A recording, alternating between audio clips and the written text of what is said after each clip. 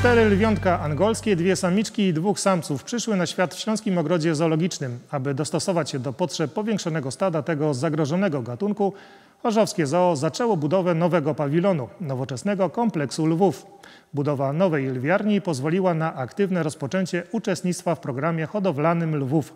Śląskie Zoo tym samym staje się trzecim na świecie ogrodem zoologicznym rozmnażającym lwy angolskie. Karolina Komada. 6 kg szczęścia, a w głowie tylko jedno kocie figle. W Śląskim Ogrodzie Zoologicznym przyszły na świat lewiontka angolskie. Pierwsze 8 tygodni spędziły u boku matki i jak każde koty uwielbiają drapaki, pudełka czy mleko. Jednak od tych kotów domowych różnią się tym, że należą do gatunku zagrożonego wyginięciem. Populacja dziko żyjących szacuje się gdzieś około 30 tysięcy y, sztuk, natomiast y, y, to są takie szacunkowe dane z tego względu, że ta niestabilna sytuacja polityczna w tych krajach powoduje, że nie da się stwierdzić dokładnie ile ich jest. Natomiast jeżeli chodzi o mm, ogród zoologiczny, to jest 77 sztuk w całej e, Europie i na świecie. Dlatego dwie samiczki spośród czterech młodych, które przyszły na świat są wręcz na wagę złota. Znacznie częściej rodzą się samce, stąd też utrudnienie w rozmnażaniu tego gatunku. Ogród zoologiczny od maja próbował znaleźć samicę lwa angolskiego, żeby powiększyć stado. W końcu się udało, matką została młoda lwica Anona, a ich ojciec to lew Moksiko. bardzo czułą i opiekuńczą matką, pomimo tego, że są jej pierwsze młode.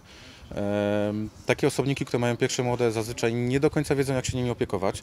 Tym bardziej się bardzo cieszę, że, że wszystkie cztery mają się dobrze, są zdrowe, prawidłowo się roz, rozwijają, odpowiednio przybierają na, na wadze, mm, więc wszystko jest w porządku. To pierwsze od 21 lat narodziny lwów w Chorzowskim Zoo i jak mówi dyrekcja, mają nadzieję, że nie ostatnie. W tym pomóc ma budowa nowej lwiarni o całkowitej powierzchni 4000 m2. To o 5 razy więcej niż aktualny wybieg. Jest to trzeci ogród zoologiczny na świecie, gdzie mm, takie wydarzenie miało miejsce, a więc e, cieszę się, że Chorzowskie Zoo wpisuje się mm, w dobre mm, praktyki ratowania zagrożonych gatunków, a z pewnością, z pewnością te lwiątka mm, będą cieszyć oko zwiedzających, ale też będą pod profesjonalną opieką i też inwestycja, jeżeli chodzi o przebudowę tego wybiegu, będzie z pewnością kluczowym elementem, bo 3,2 miliona złotych to dużo publicznych środków do tego, by no, ta jakość podobiecznych ogrodu była coraz e, lepsza. Ze względu na wrażliwość kociąt nie będą one jeszcze widoczne dla zwiedzających na wybiegu zewnętrznym. Można je oglądać wyłącznie przez szybę.